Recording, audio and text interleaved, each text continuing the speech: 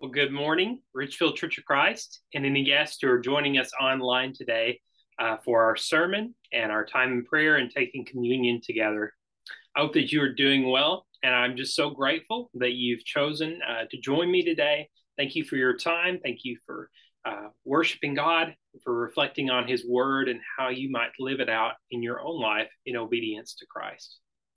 Well, I want to begin today by uh, saying yesterday, uh, our church family here in Richfield uh, had a picnic together at Augsburg Park here in Richfield, and we uh, were so blessed by just great weather uh, and good food and fellowship and just a fun time together.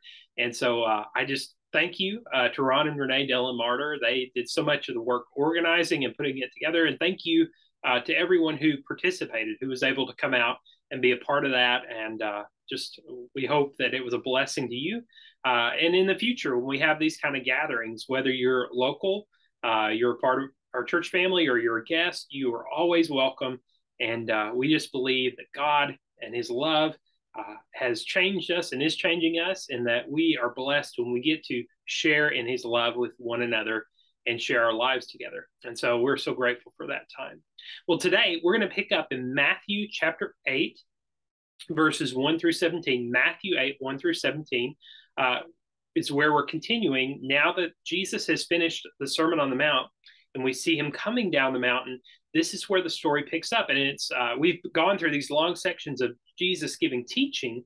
And in a sense, what we're looking at today is a return to some of the narrative of the things that Jesus is not only teaching, but also what is he doing as the Messiah, the anointed king who has been sent by God to reclaim his people. Now, maybe you remember this. I just want to begin by reading this back in Matthew chapter 4, before the Sermon on the Mount, in Matthew 4 23 to 25. Uh, Matthew gives us a description of what Jesus is doing and how the kingdom of God is coming. He says, and he went, talking about Jesus, he went throughout all Galilee, teaching in their synagogues and proclaiming the gospel of the kingdom and healing every disease and every affliction among the people. So his fame spread throughout all Syria, and they brought him all the sick, those afflicted with various diseases and pains, those oppressed by demons, epileptics, and paralytics, and he healed them. And great crowds followed him from Galilee and the Decapolis, and from Jerusalem and Judea, and from beyond the Jordan. And this is one of the things that, that many people know about Jesus, about his life and ministry. It's not just that he taught, but he is known for the many miracles of healing that he performed.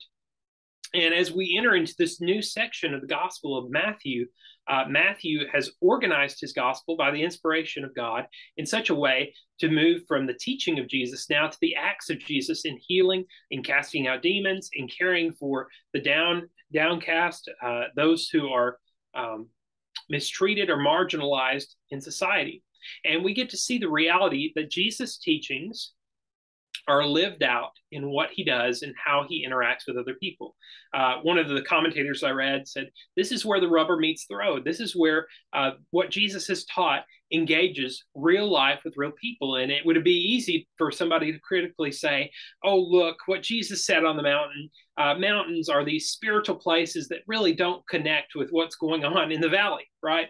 Uh, that oh sure it's easy to say love your enemies. Bless those who persecute you or hurt you. It's easy to say that god cares for the poor or god cares for the lowly in spirit god cares for the meek god cares for the righteous. All all these things that jesus has said and all these things that he has told his people to live out as a part of his kingdom um, this is where jesus shows his disciples in real life that he actually not only has authority in what he teaches but he has authority in what he does, that he is a powerful and compassionate Savior who will do what is right for the good of not just Israel, but also we're going to see in this story, but that God is working through Jesus to redeem the Gentiles. The nations of the world are being brought back to God through Jesus, the Jewish Messiah. And so this text is full of good news of what God is doing and how the kingdom is coming through Jesus Christ. And what's uh, what's fascinating is that Matthew loves to quote from the prophet Isaiah, and Matthew likes to point out uh, from a section of Isaiah known as the servant songs. This section in the later uh, half of the book of Isaiah, where uh, Isaiah the prophet talks about this servant of the Lord who God will work through to redeem Israel. And so, in particular, we're going to see Matthew in this text quote a passage, so look for that later, that points to who Jesus is and what he is doing on behalf of Israel and on behalf of the world.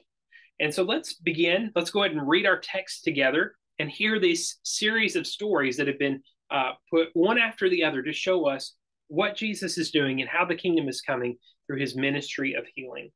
When he came down from the mountain, great crowds followed him, and behold, a leper came to him and knelt before him, saying, Lord, if you will, you can make me clean. And Jesus stretched out his hand and touched him, saying, I will be clean. And immediately his leprosy was cleansed. And Jesus said to him, See that you say nothing to anyone, but go, show yourself to the priest, and offer the gift that Moses commanded for a proof to them. When he had entered Capernaum, a centurion came forward to him, appealing to him, Lord, my servant is lying paralyzed at home, suffering terribly. And he said to him, I will come and heal him. But the centurion, centurion replied, Lord, I am not worthy to have you come under my roof, but only say the word, and my servant will be healed. For I too am a man under authority with soldiers under me, and I say to one, Go, and he goes, and to another, Come, and he comes, and to my servant, Do this, and he does it. When Jesus heard this, he marveled and said to those who followed him, Truly I tell you, with no one in Israel have I found such faith.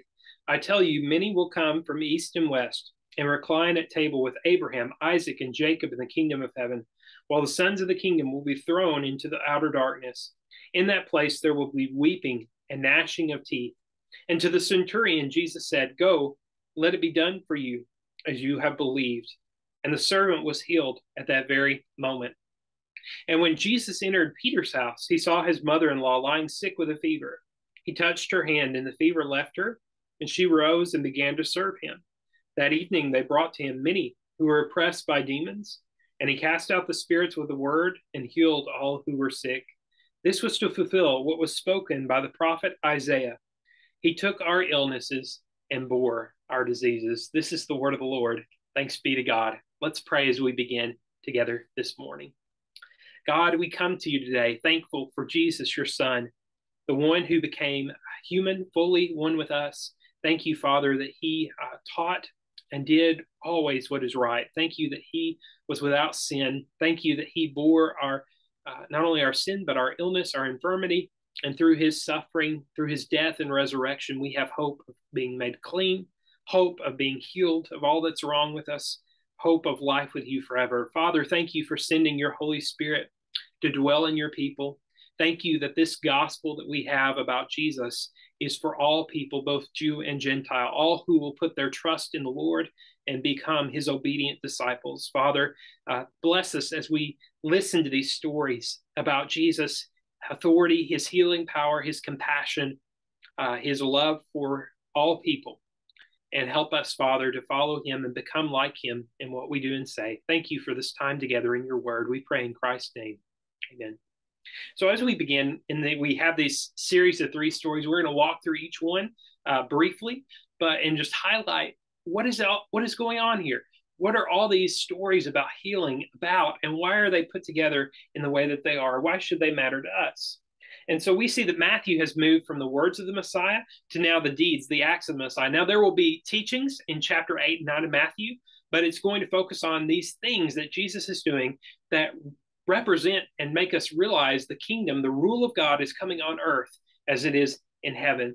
And so the first person that Jesus meets uh, in the story is a leper, right? It's no coincidence that after Jesus comes down from the mountain, he's been following, being followed by these great crowds, that he encounters a leper. And here's the test case for what Jesus has been teaching, right? Uh, are the poor in spirit really blessed? Uh, will mercy triumph over judgment? Is the kingdom of God really coming through the authority of Jesus? And what we know about this story, the background that you may need and I need uh, for this story to be understandable, is that for the people of Israel, cleanliness or purity uh, or holiness were important issues. Oh, well, why were they important to people like the Pharisees or the priests or the religious leaders or the everyday Israelite? Is because God in the Torah, in the Old Testament, in uh, Exodus, Leviticus, Numbers, Deuteronomy had laid out laws uh, that taught the people of Israel how they were to uh, maintain their cleanness, how they were to uh, ritually purify themselves when they came into a state of uncleanness. Um, and all of these aspects are about how does a person enter into the presence of a holy God? And it's by becoming a holy people. And so God had given his people laws about what unclean things to try to avoid. Uh, there were certain unclean foods that Israel was not to eat or partake of. There were uh, unclean people or unclean clothes or unclean homes, places. Uh, there are a number of ways that things could be made unclean, and Israel was taught how to avoid those things or uh, how to purify themselves after they had engaged in actions that caused them to be unclean. And so God provided ways for purification.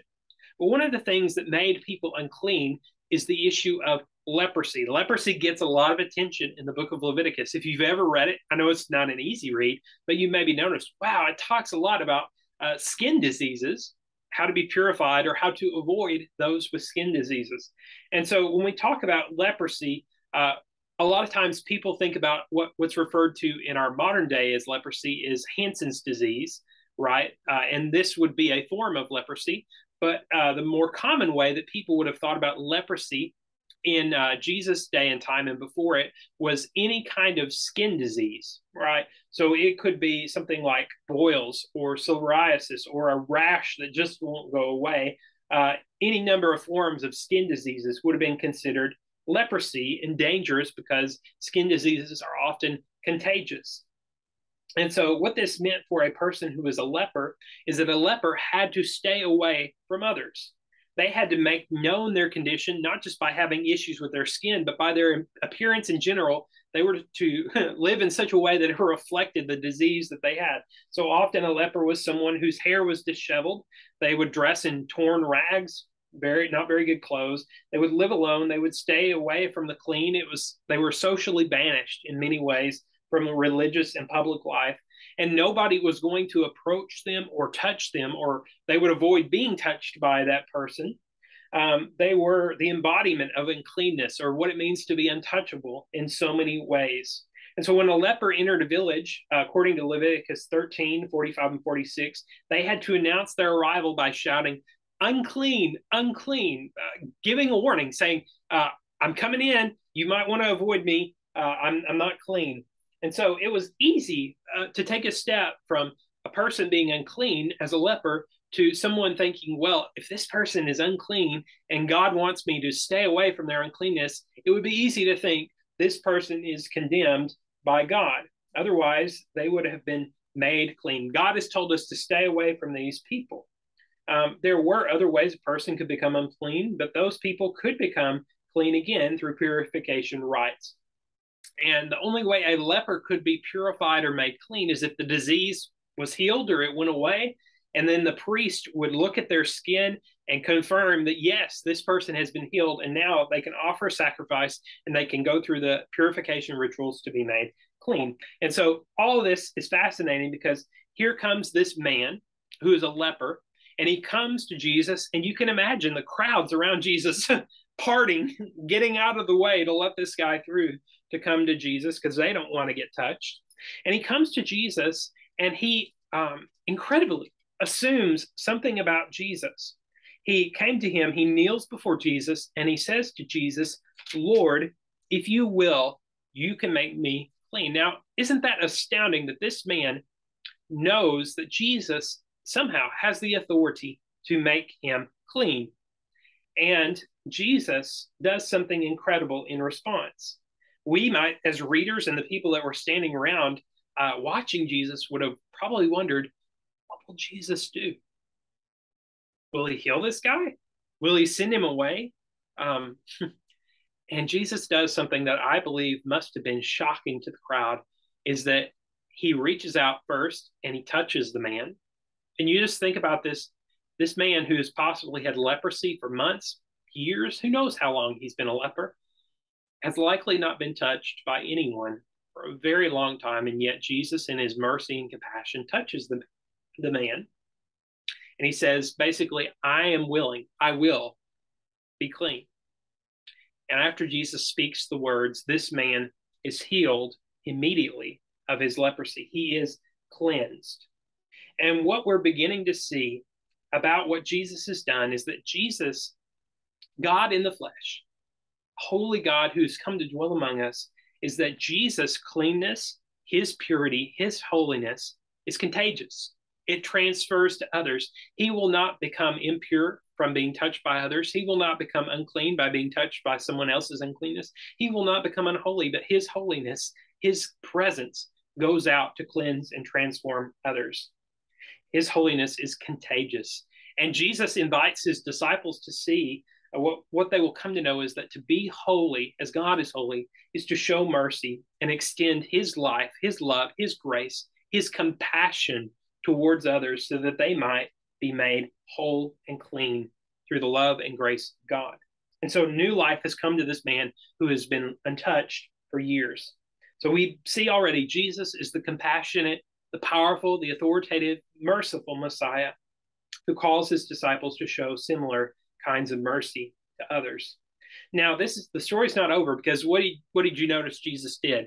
He tells the man, "Here's what I want you to do: is I want you to go to the temple and go to show yourself to the priest so that they can look look over your body they can confirm that you have been healed of your leprosy you can offer the sacrifice that moses commanded and go through the purification ritual that moses commanded and what jesus is doing is that we're being shown again jesus is obedient to the torah jesus has not come to abolish the law and the prophets but to fulfill them.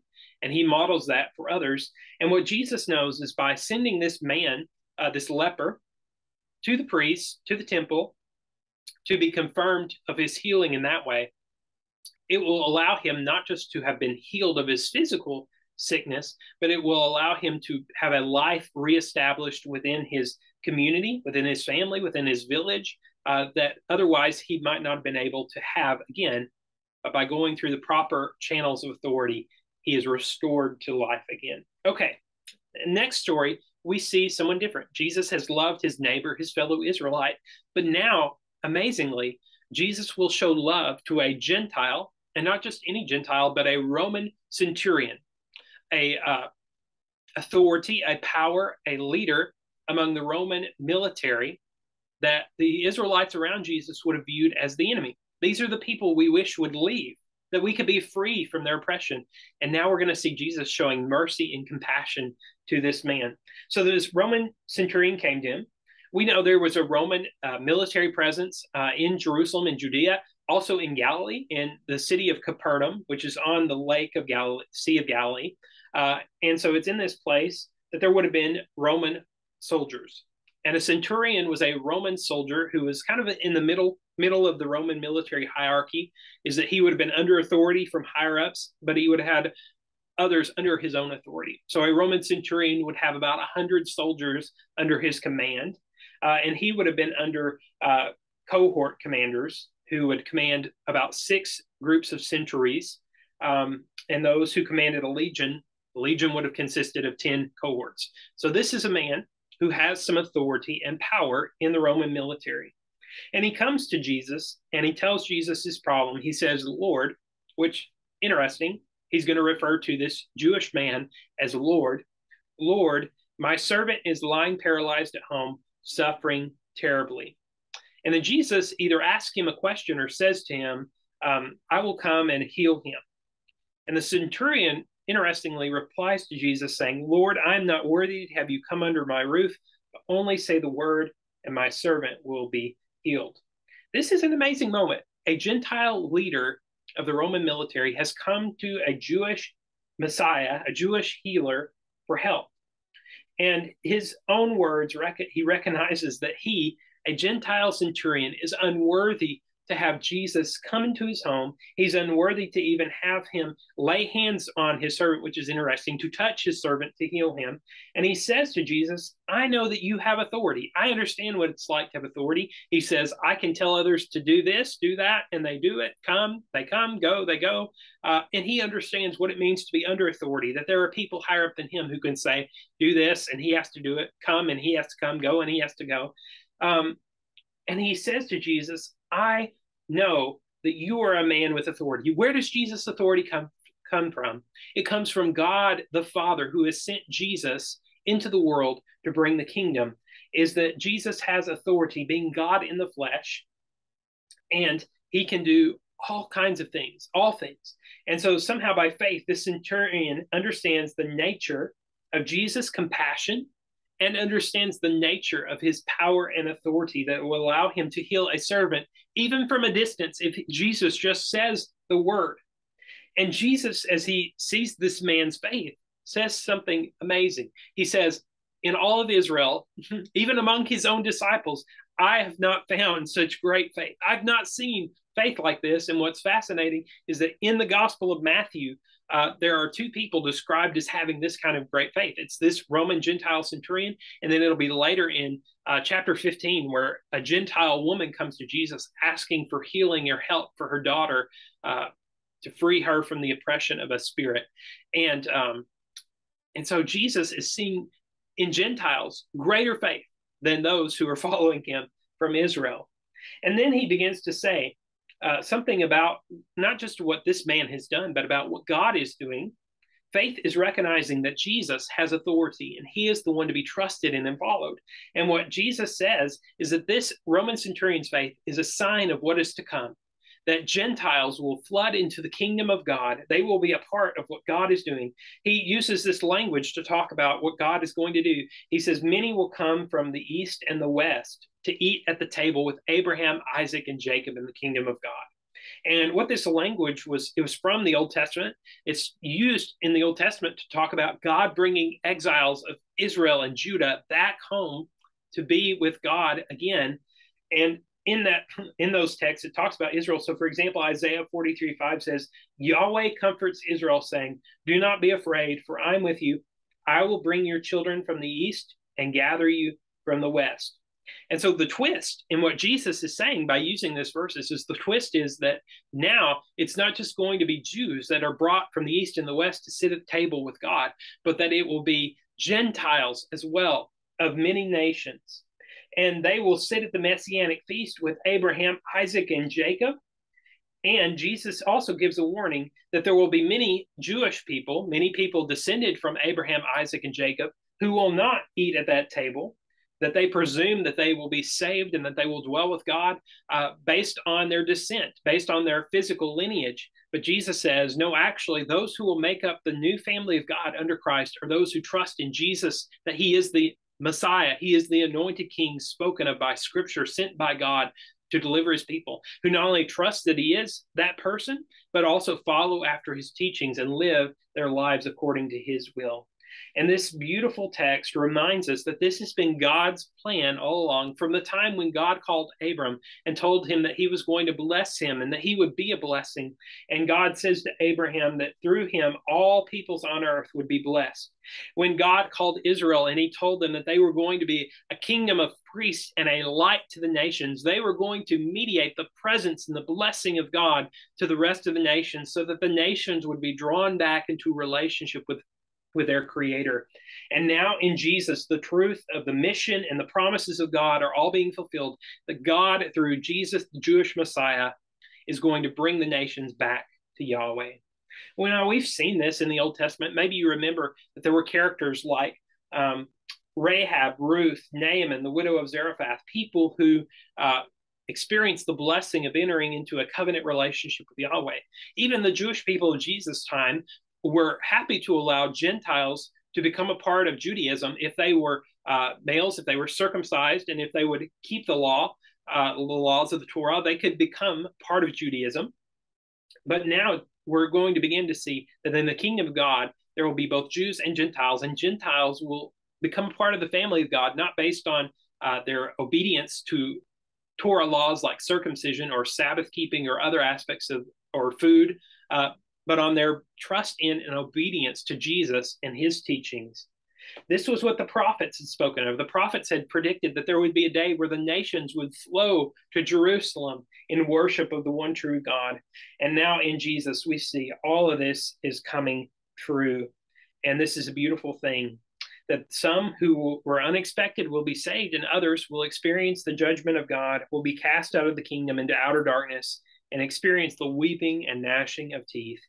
And so Jesus' word of uh, hope to the centurion, of good news, that you will be a part of the family of God, is also a warning to all of us uh, that we ought to not just assume because of who we are or because of our birth, because of our lineage, because of our descent, because of our parents' faith or anyone else's faith, that we will be with God, but that Jesus invites those who will put their trust, their faith in Him and His authority, and those who will follow after Him, that we will be by His grace seated at the table with the people of God from out all the generations.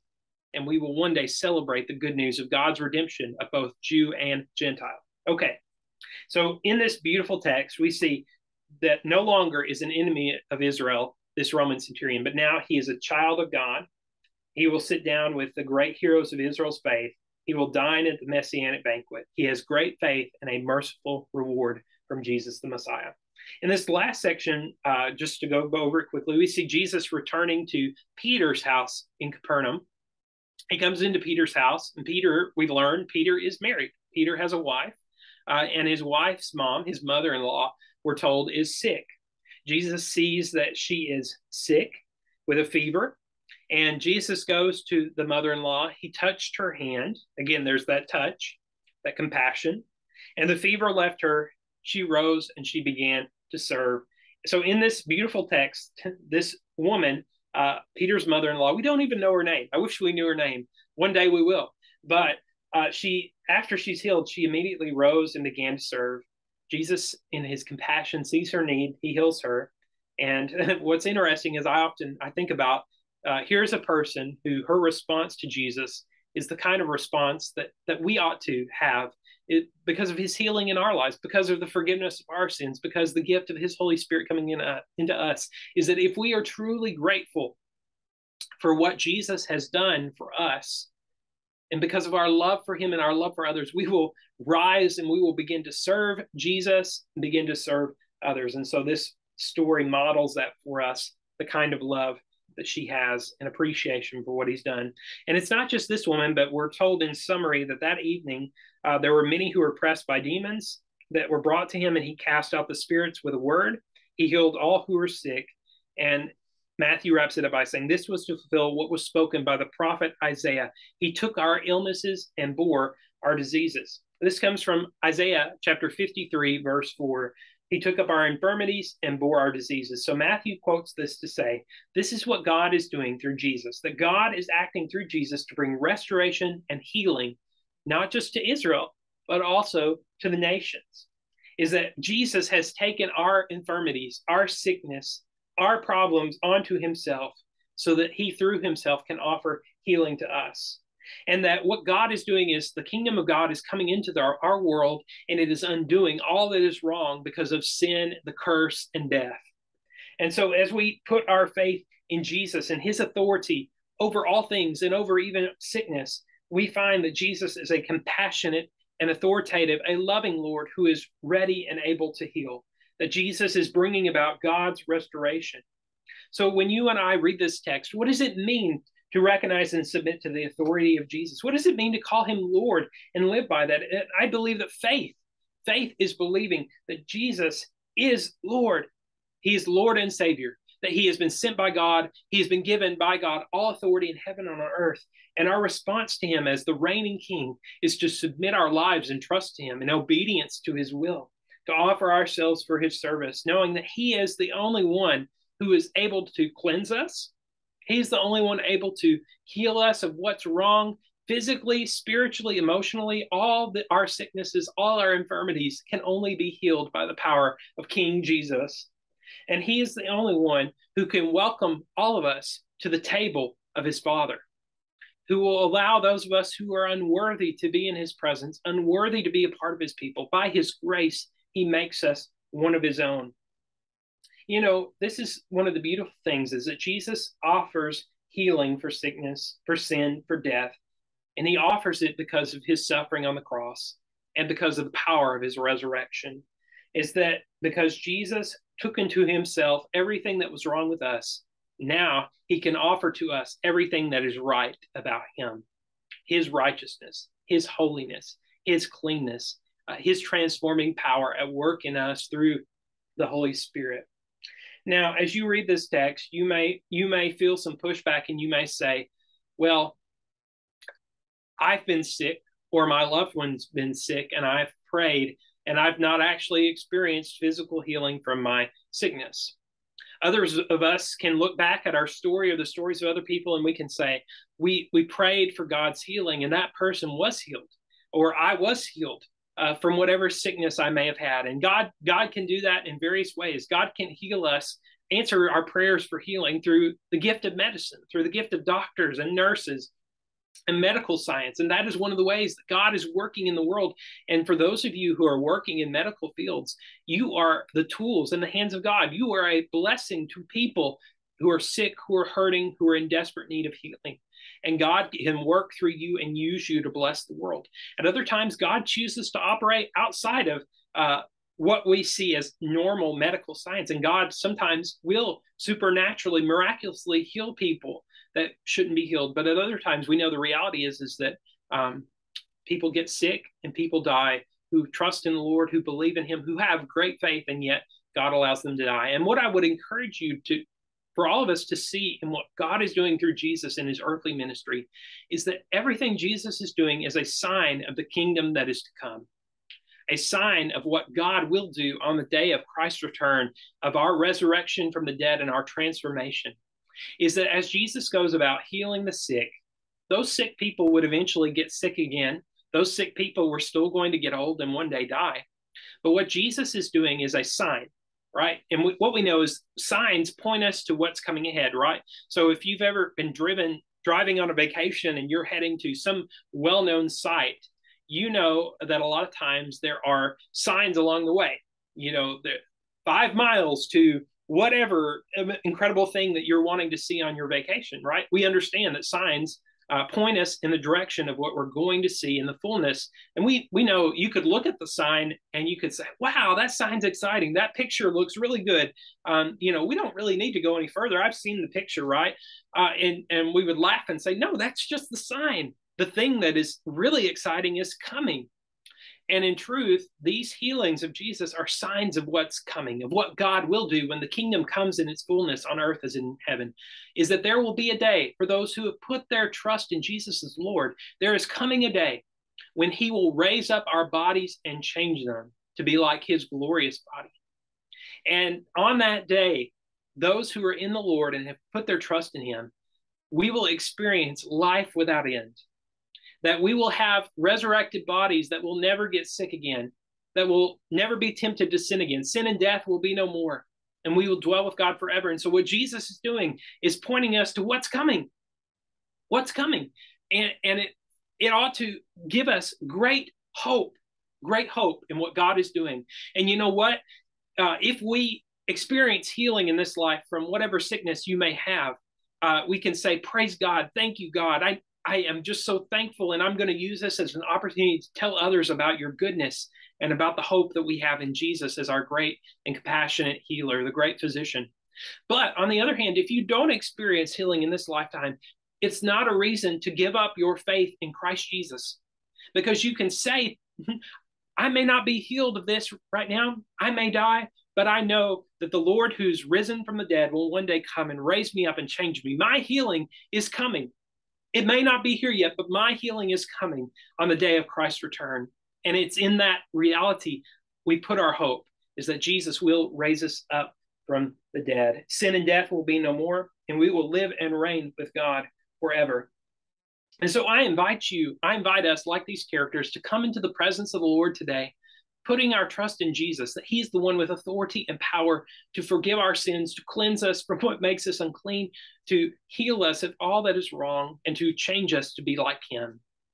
And we recognize that we are not worthy of His love, His compassion. We know in every single one of our hearts that we have done wrong, that we have sinned, that we have hated, that we have lusted, that we have hurt others, that we are in every way, we are sick. And Jesus is the cure he is the one who can heal us and forgive us and change us by the power of the Holy Spirit. And so when we come to the table this morning, we come as the people who are humbled by the reality that we are unworthy to enter into the presence of our Lord. But by his grace, he has invited us to eat at table with him. And when we eat this table, when we eat the bread and we drink the cup, we remember what he's done, but we also will do it pointing toward the day of his return The Lord's Supper, in, in some ways, functions as a sign of what's to come. That when we eat the bread and drink the cup, we are looking forward to that day when we will sit at the messianic banquet table with Abraham, Isaac, and Jacob, and this Roman centurion, and all the people of faith who've gone before us, trusting in the Lord. And we will eat and we will celebrate what God has done to save us. And because of that grace, we give thanks. Let's pray together, take the bread and drink the cup. God, we thank you for Jesus our Lord, who gave his body on the cross for our sins. Thank you, Father, that he is the one who is offering us healing through his suffering. Lord, help us to bow our lives before him, to trust in his saving grace, to give thanks for his life, his death, and his resurrection, and his promise to come again. Bless us now as we break bread. We pray in Christ's name. Amen.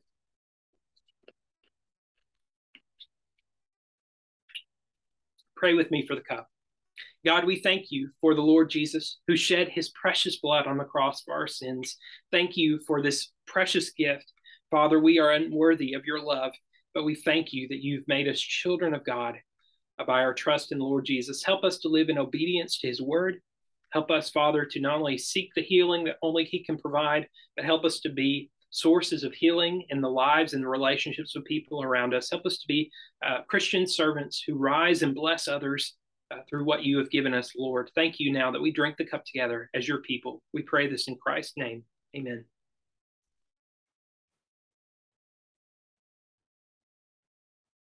Let me say thank you so much for being with me today.